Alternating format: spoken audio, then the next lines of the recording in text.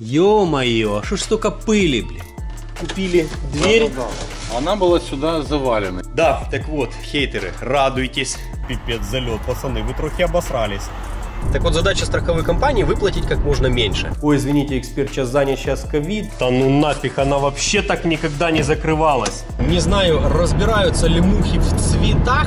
Знаете, для того, чтобы сделать человека счастливым, сначала у него чего-то надо отобрать, чтобы он, сука, пострадал, а потом ему это вернуть. И выплачивают всего лишь 30% от этой стоимости. Вот здесь вот краска отваливается местами. Помойка это там, где моют автомобили не очень хорошо. Но даже здесь они умудрились нахлобучить. Легкий удар молоточкой, сантиметр шпаклевки просто отваливается. Друзья, всем привет! Я не один раз говорил о том, что самое дорогое, что есть в автомобиле, это его кузов. И я говорил это не просто так. Я сторонник того, чтобы купить автомобиль слегка, ну, скажем так, с какими-то техническими недочетами, нежели с плохим кузовом. Сегодня на примере своего автомобиля я покажу, что такое кузовной ремонт, как это долго, как это геморройно, к чему это вообще приводит, насколько растягивается и то, как найти нормальных кузовных мастеров, это сложно. Ранее как-то обещал уже показать процесс того, как происходит выплата в страховом ДТП, при страховом ДТП. Именно об этом сегодняшнее видео. Ну и не только об этом, еще о мучениях самого ремонта, кого что ждет, и надо учесть того, что у меня есть опыт, и все равно я встретился, сука, с таким геморроем, который до сих пор не могу отрыгнуть. А сейчас уже на секундочку у нас середина декабря декабря, внимание, история еще не закончена. Она снимается периодически на протяжении уже нескольких месяцев. Так вот, после того, как у вас случилось ДТП и это все дело нужно оформить, в моем случае это было небольшое ДТП, это были оба трезвых водителя, и это не были пострадавшие. Если будет другой вариант, ну, например, там кто-то был нетрезвый, или же кто-то пострадал, то будет другой вариант развития событий. В моем случае было так. В общем, первое, что нужно сделать, это позвонить в страховую виновника, а виновник был не я, а другой автомобиль, и э, сказать о том, что я пострадал от вашего застрахованного автомобиля, гос номер такой-то. Это первое действие, которое нужно сделать.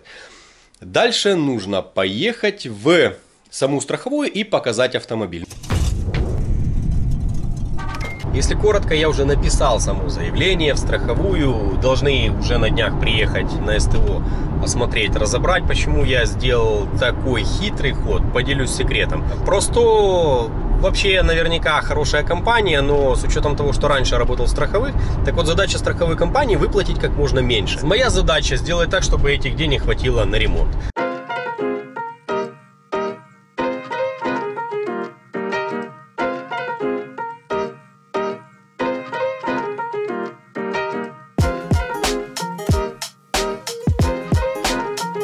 То, что приехал эксперт, это было уже две недели спустя после ДТП.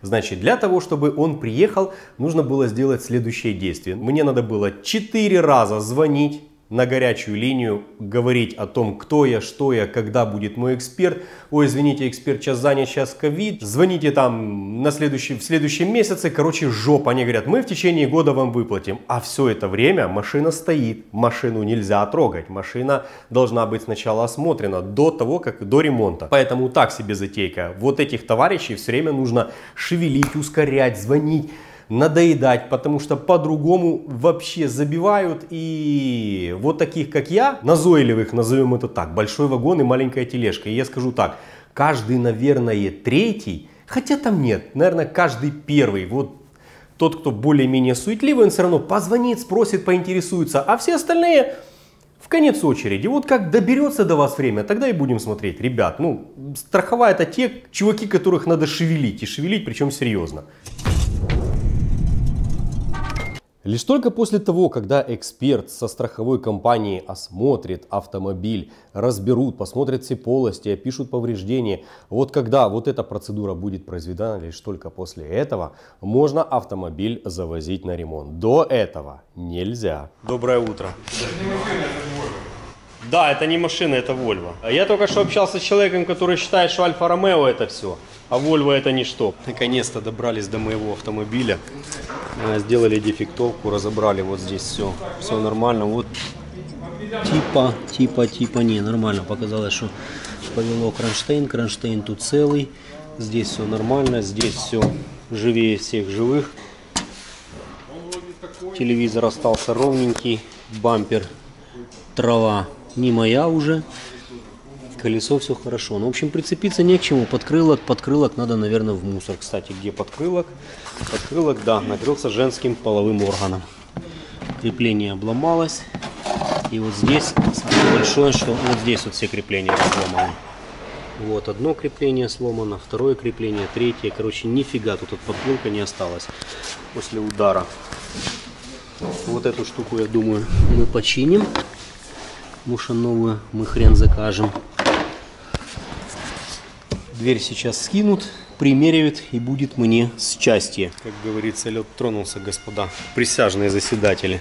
На момент записи вот этого видео прошло уже два с половиной месяца от момента ДТП. Но до сих пор автомобиль до конца не отремонтирован и полной стоимости по страховой еще не заплачено. Поэтому накосячил и AirDrive, и накосячила страховая. Но обо всем по порядку.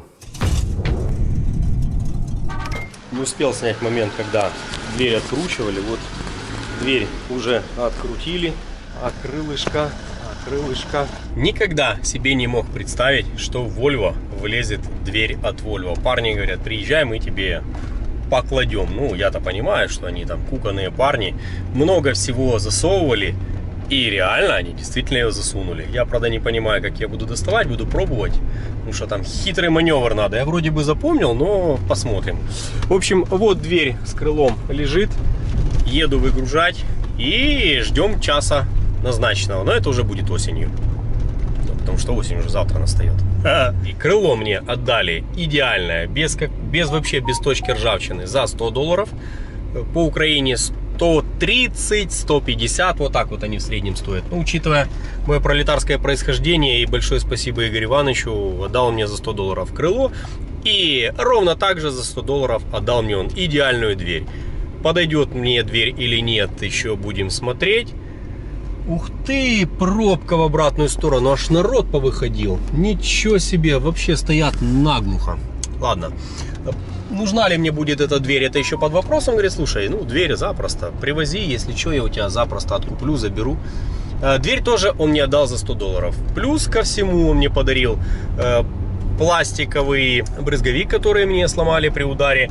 Подкрылок не нашелся нормальный. И еще из ништяков он мне подарил э, а, в багажнике лежит вот сюда, вот, вернее не сюда, а на пассажирскую сторону кнопку стеклоподъемника нового образца. Значит, поясню, нафига вешают запчасти перед тем, как... э, можно же было их сразу загнать в камеру, покрасить и все. Значит, ребята, не всегда запчасти подходят. То есть цель э, рихтовщика одеть запчасть. Если она где-то не подходит, ее надо подогнать, а лишь только после этого вот эти все вещи уходят в камеру. Ну, а здесь ничего особо подгонять и не надо. Вольво, ёпти. Я уже практически на новом авто.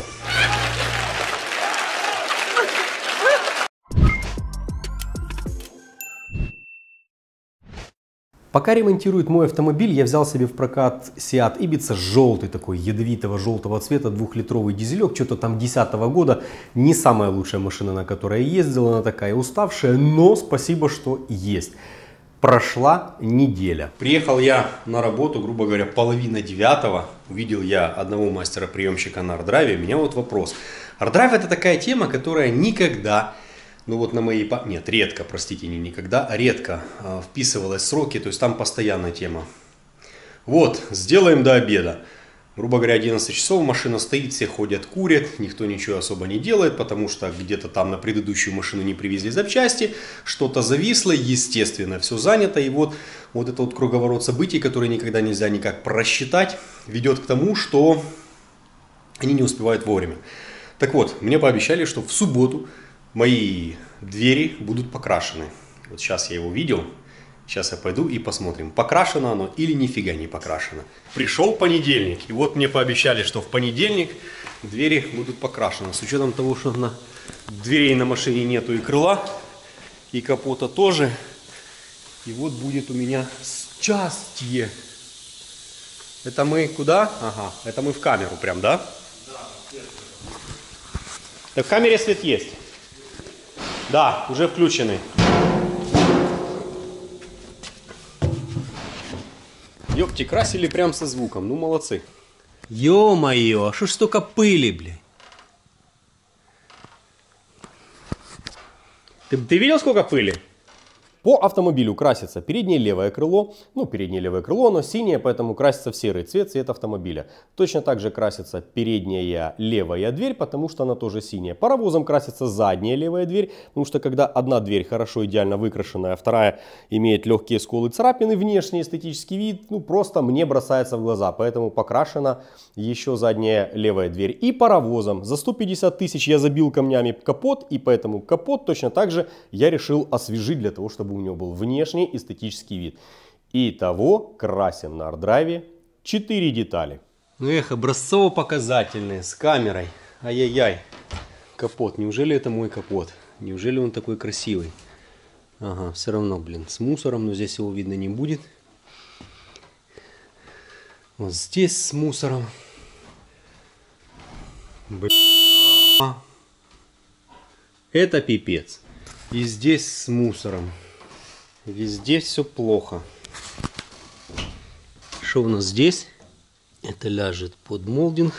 Ну вот дверь, кстати, а все равно с мусором. Везде все с мусором, везде все сыпется. И вот, вот эта вот тема, это любимая тема для хейтеров. Кстати, просили передать отдельный привет Богдану хейтеру с Березняков. Это город Киев. Богдан, большой привет. Да, так вот, хейтеры, радуйтесь. Покрасили хреново, покрасили с пылью. Чем закончится, не знаю. Думаю, будут передувать, а может уберет полироль, чем я сильно сомневаюсь. Но радуйтесь. Two hours later.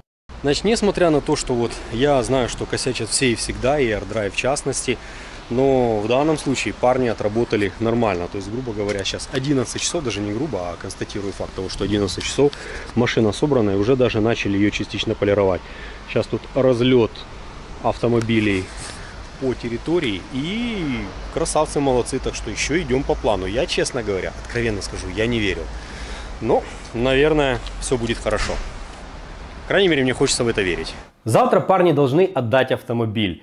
И, на удивление, все идет в план, даже с легким опережением. Ну, забегая наперед, я скажу, никогда не нужно радоваться раньше времени. Как обещали, скоро пятница, Володя меня тут подкалывает. Ну, в принципе, дракон уже готов. Но, судя по тому, что он не помытый, хрен он еще готов. Смотри, а, комплект тебе тело какое есть, смотри. Тело, хороший подкрылок, да только не мой. Ну, наши ж пацаны могут. Дождь пойдет и опять мы. Бля, зазорчик стоит, красота, блин, в коем-то веке, нифига себе. А вот я теперь не понимаю, как мне теперь тестировать парней этих самых э, Так я же об этом хотел подборщиков. сказать, блядь. Э, когда ж э, ты...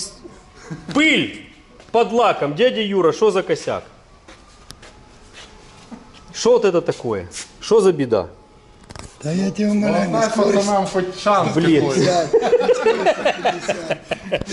Я тебе скажу, без пыли вообще нереально покрасить, понимаешь? Реально, Нереально. реально. Нереально.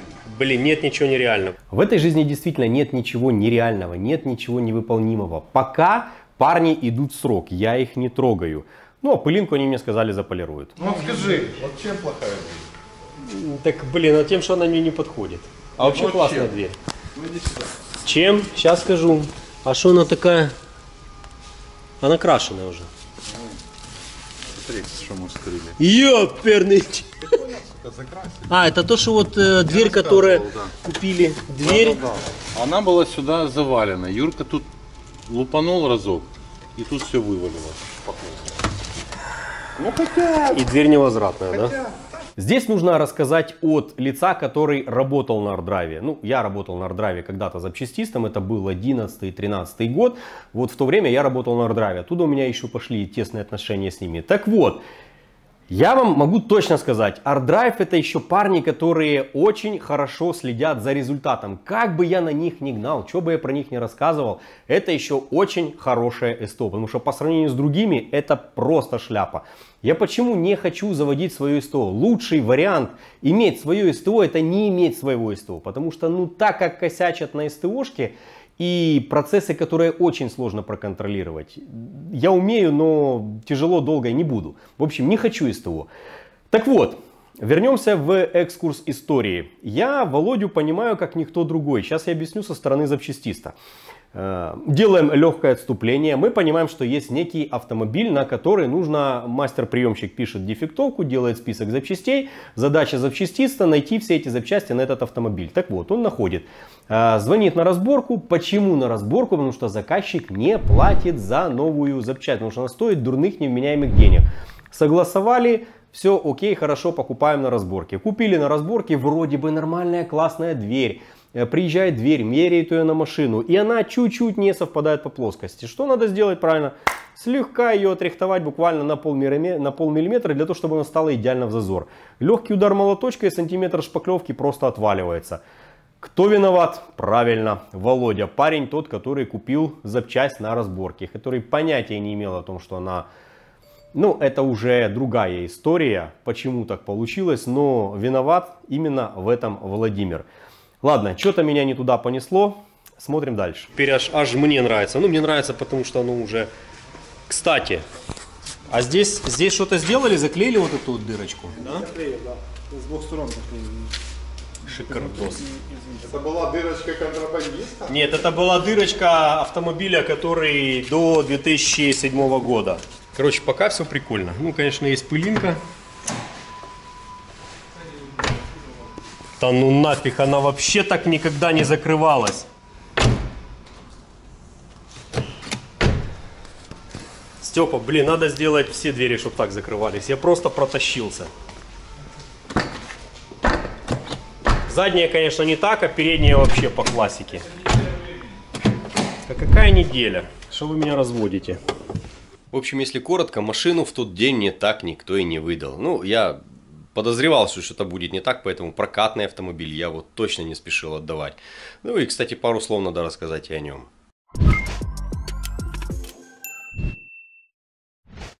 Ничего не хотел сказать плохого про автомобиль. Хороший, прекрасный автомобиль Seat, выносливый. Э, это двухлитровая, это машина 2011 года. Эта машина в прокате имеет на данный момент 275 тысяч. Данный аппарат был собственности одного из владельцев компании, который его потом предал и отдал в прокат. Почему предал? Потому что, когда он на нем ездил, он за этой машиной хотя бы следил. А теперь эта машина, сука, рассыпается на куски. Не, она целая, у нее там крашена передний один элемент. И сделано хорошо, без вопросов. Но ходовой у этой машины нет. Хотя те парни, которые дают в аренду, говорят, слушай, машина, на, это лучшее, что у нас есть.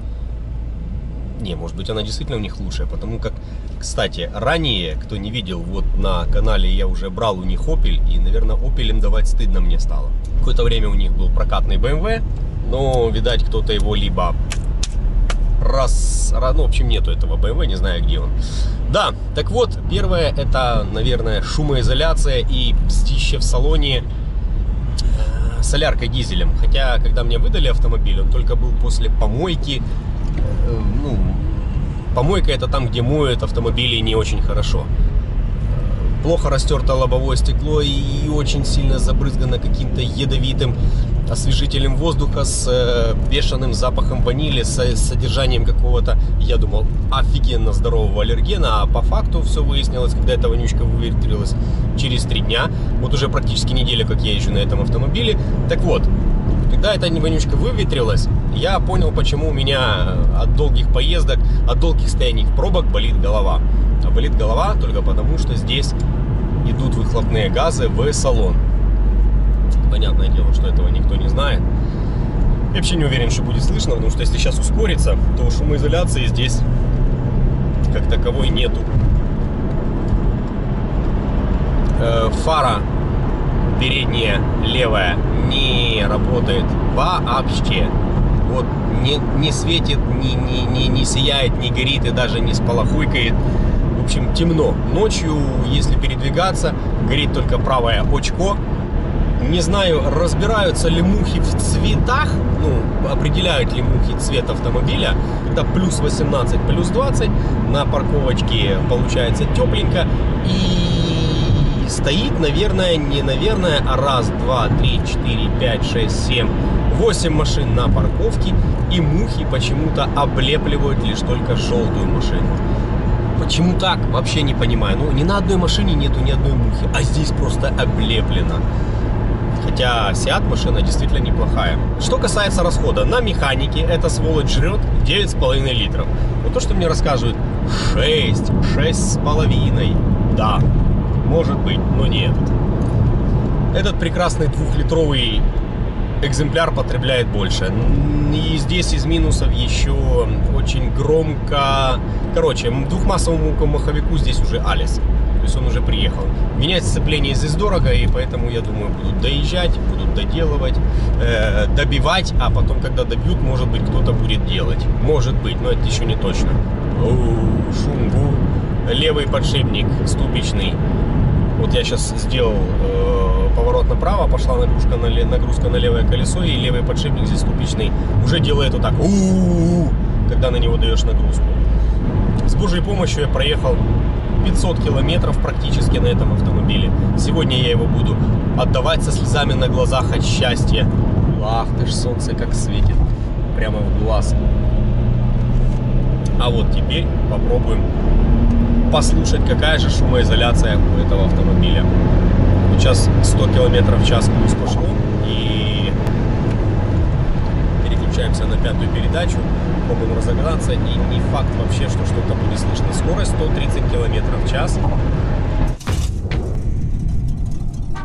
Короче, по итогу мне автомобиль не отдали и на следующий день, и через еще один день. В общем, отдали мне автомобиль только, по-моему, раз, два, три на третий день после того, когда обещали. Но так бывает очень часто, и мы все к этому привыкли, поэтому, ребят, очень часто, когда вам говорят неделя, умножайте эту цифру как минимум на полтора, и тогда вы будете попадать в сроки. Потому что очень часто бывает такое, что где-то что-то сломалось, где-то надо что-то доделать, где-то что-то переделать, где-то какая-то претензия, где-то что-то еще.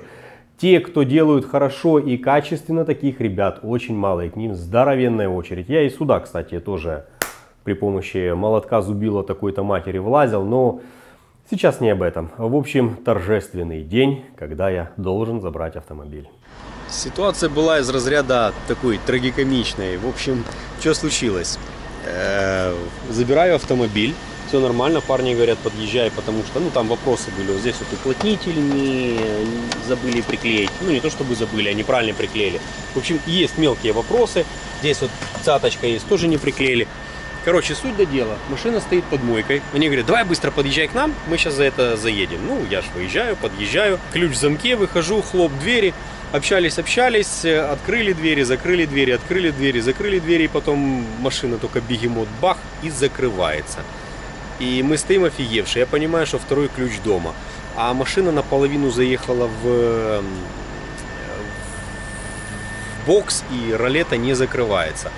И такая ситуация, что э, парни, благо, меня завезли домой, я туда взял такси, приехал. В общем, все быстро в попиках, уже ночь. Но нормально. Приехал. Э, Будем разбираться с дверью, почему она э, закрывается, что ее глючит. Потому что, в принципе, Volvo не должна закрываться. Ни одна сигнализация штатная не должна закрываться. Здесь стоит именно штатная сигнализация. На мойку не попал, машина грязная, но я уже на машине завтра с утра мне ее будут мыть. А пока я на грязном бегемоте буду ехать в сторону домой. Вот такая вот ситуация. Те, кто следят за нашим инстаграмом, видели, какой прикол был, когда я забрал автомобиль. Друзья, ситуация, которая заслуживает внимания. Сейчас попробую показать, продемонстрировать, что получается. В общем, я забрал машину с ремонта. Ну, у меня была ситуация, машина захлопнулась, э, ключи остались с ней за, за ключами. То такое дело, то мелочь, то такая трагикомичная ситуация. Сейчас выезжаю, машина на мойку не попала, она вся грязнючая. И я э, побрызгал на стекла и сейчас показываю, что получилось. Эх, вот сцикун. И он брызгает нифига не на стекло. Причем что один, что второй, они брызгают вообще тупо в разные стороны, ну, вперед. Они мне освещают, брызгают дорогу, как поливайки машины ездили раньше при Советском Союзе, поливали асфальт, и вот тут такая же ситуация. Арт-драйв, вы красавчики, просто лучшие. Успели по срокам, но со сцепунами, это просто пипец залет, пацаны, вы трохи обосрались. Но на следующий день я решил парням сделать урок нравоучения в формате «А что же не так с автомобилем? Вот стань вперед перед машиной и посмотри, что же не так».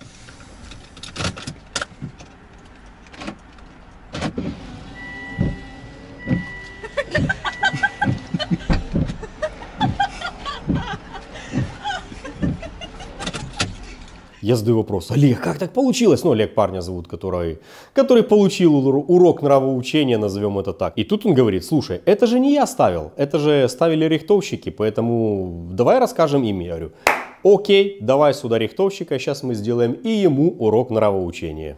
Что не так?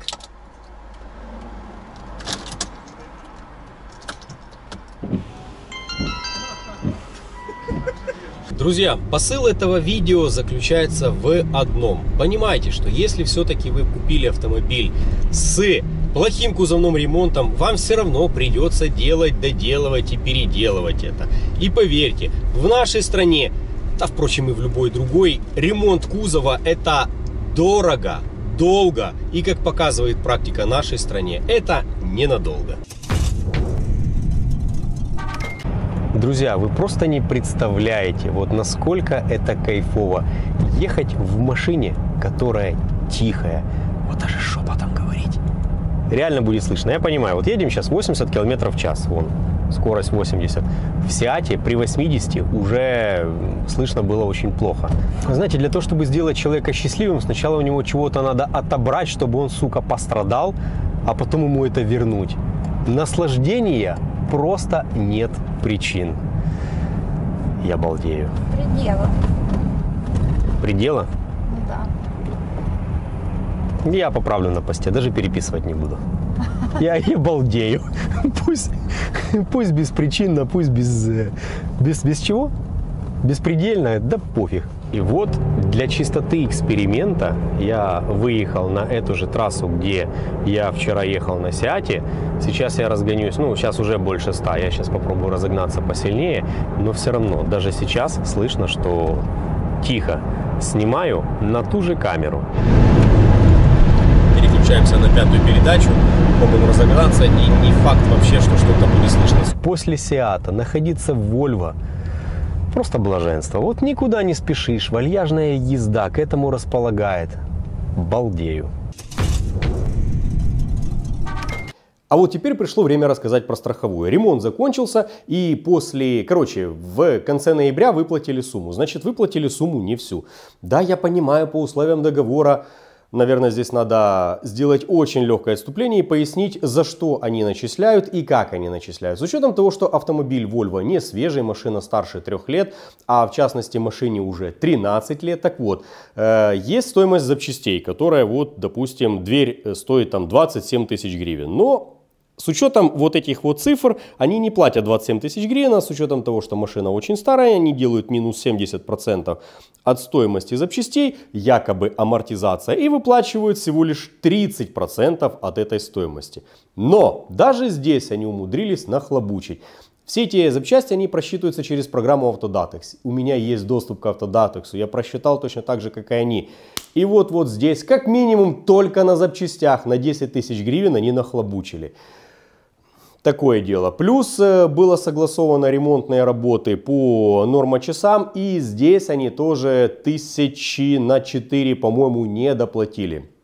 Я написал жалобу. Они мне говорят, слушай, у нас все классно. Вот нет, дальше только в судебном порядке. Я говорю, хорошо, давайте в судебном порядке. Тяжело. Э, Постоянно присылают какие-то отписки. В общем, не доплатили, не доплатили очень много. И они считают, что это нормально. Покрыло ли это расходы? Немножко не хватило, скажем так. То есть я не беру во внимание расчет того, что я красил капот, я красил его за свои деньги, я не беру внимание того, что я подкрашивал заднюю дверь, я беру только запчасти и только покраску. Друзья, этих денег ни хрена не хватило, пусть немного, но не хватило. Это с учетом того, что я брал бэушные запчасти. И я их брал за очень недорого, как я считаю, потому что по Украине цены совершенно другие. И даже при таких раскладах этого не хватило. Поэтому страховые вот так вот выплачивают. Возможно, есть какие-то инструменты воздействия. Сейчас я этого не знаю. Если раньше я был в этой теме плотно, то уже прошло очень много лет. И сейчас у меня нет каких-то инструментов воздействия для того, чтобы надавить на них и оплатить, чтобы они оплатили вот эти несколько тысяч гривен. Мне проще вот так вот их отдать и просто забыть, потому что время, которое будет потрачено, поедь туда по пробкам, вернись обратно, напиши одну заяву, отправь по электронной почте, созвонись, уходит большое колоссальное количество времени, поэтому нет. Я этим заниматься вот для себя решил, я уже не хочу. Понятное дело, что можно было посудиться, потратить еще полтора года жизни и не факт, что получится, а расходов будет дофига. Поэтому я решил эту затею оставить. Вот такая была незатейливая история. А, по ремонту AirDrive иду я вниз и сейчас покажу.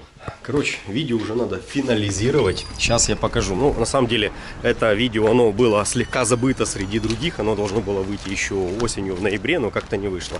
Так вот, через несколько дней уже Новый год. А, ну грязная машина, но я попробую показать. В общем, если присмотреться вот здесь помыть машину, то вот здесь вот будут видны следы от шкуры. Э, Вот здесь вот очень плохо зачистили и задули. Э, Вот здесь вот краска отваливается местами. То есть вот здесь вот она уже поотваливалась. Естественно, все эти дела они будут переделывать, но будут переделывать они уже в начале следующего года, потому что сейчас на Новый год никто гнать не будет, без машины я остаться не хочу. Это я к чему все рассказываю. Прошло уже раз, два, три, четыре месяца, машина не готова. Кстати, почему я не заметил сразу же э, вот этих вот э, покрасов? Не то оно не было видно, не то оно не просело, вернее просело после того, когда оно высохло.